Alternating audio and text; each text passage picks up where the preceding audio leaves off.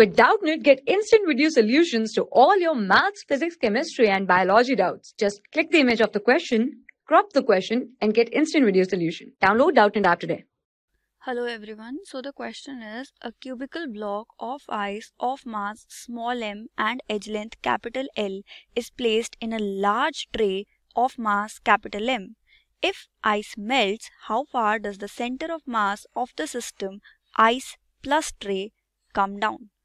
Okay, so in this question we need to find about, about center of mass. Okay, so let's suppose suppose this is the situation where O is a reference point and center of mass of tray capital M from the reference point is x1 and center of mass of ice from the reference point is x2 okay so center of mass comes out to be capital M into x1 plus small m into x2 upon capital M plus small m. So this is going to be the center of mass in of ice plus trace system. Okay this is going to be center of mass for ice plus tray system.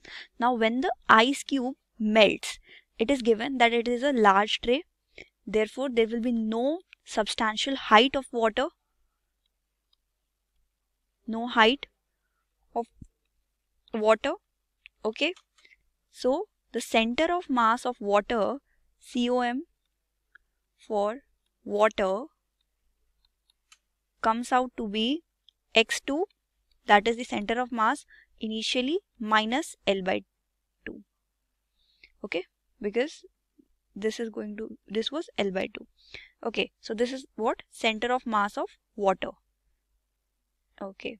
So now center of mass of system water plus tray is going to be x dash equals small m x2 minus L by 2 plus capital M x1 upon small m plus capital M. Okay, now question has asked how far does the center of mass of the system ice plus tray come down. So we need to find the difference between these center of mass. So question is asking for x minus x dash. So we will write x as mx1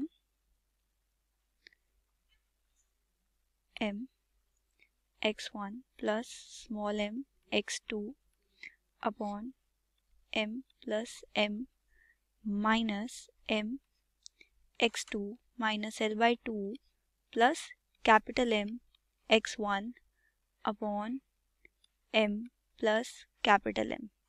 And this comes out to be 2 m sorry.